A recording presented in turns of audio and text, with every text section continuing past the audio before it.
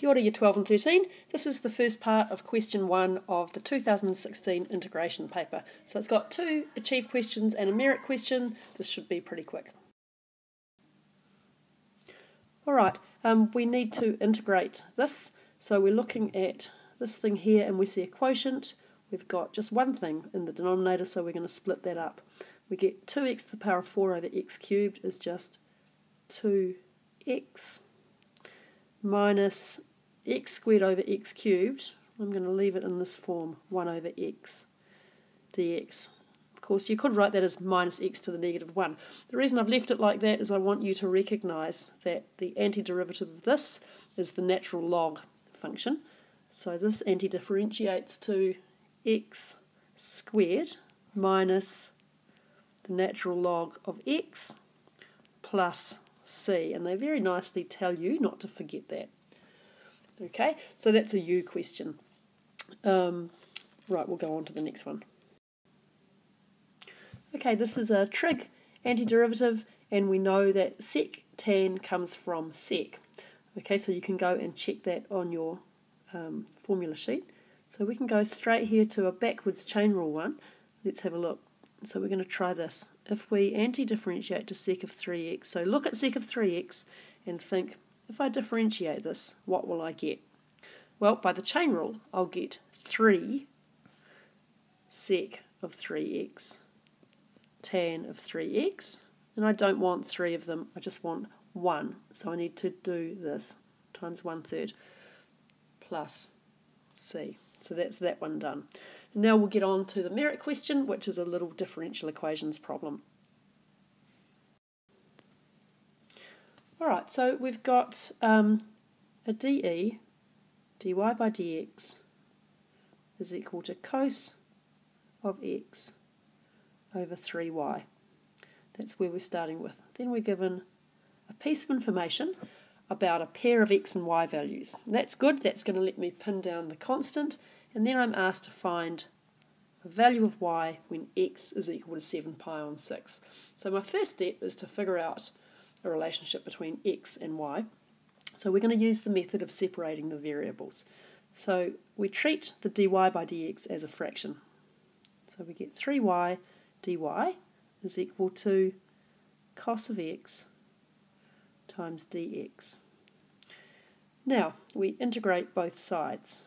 Right, so we're treating integration as an operation like we do adding to both sides or dividing by, by both sides.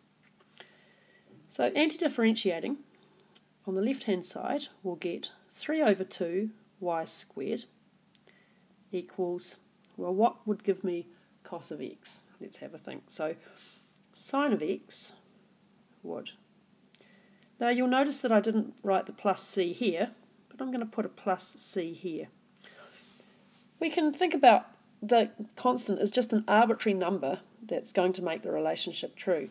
So Yes, I could have a plus a C1 here and plus a C2 here, but I can just add them together and have them in one place, and that's much simpler. So that's why, we, that's the short version why we don't need to have that plus C. So we get rid of that. We could have done the plus C on either side. I've just put it with the sine of x.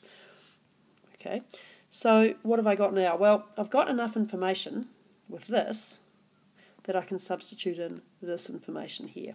We know that when x is pi on 6, y is 1. So 3 over 2 times 1 squared is equal to sine of pi on 6 plus c. So sine of pi on 6 is pi on 6, 30 degrees, is just 1 half. So what does that give us? Well, 3 over 2 is equal to 1 half plus c. So c equals 1. I'm going to take a new slide to finish this one off. Right, so we've got to here.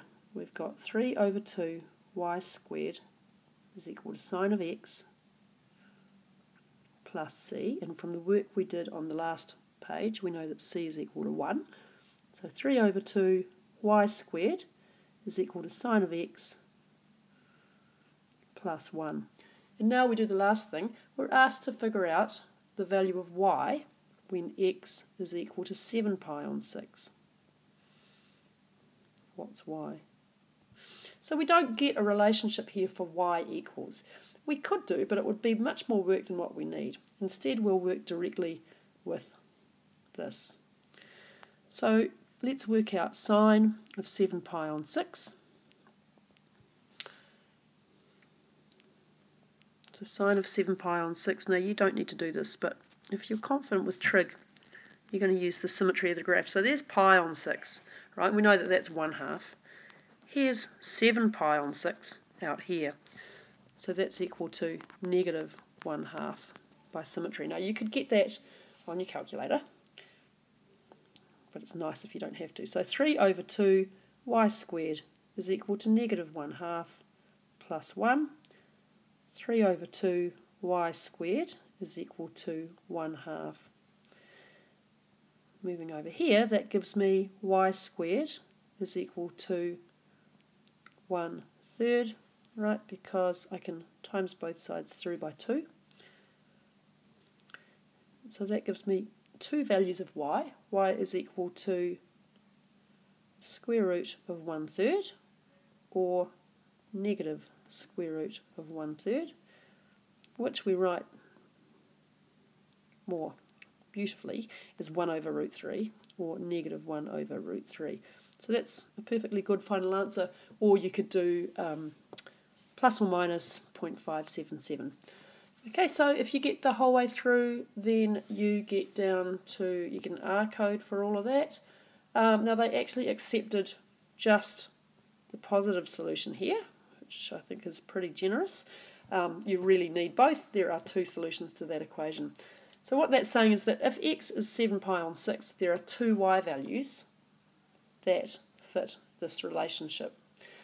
Okay, and if you got as far as integrating, then you got a U code for that. Alright, hope that helped. I'll have some more videos up soon.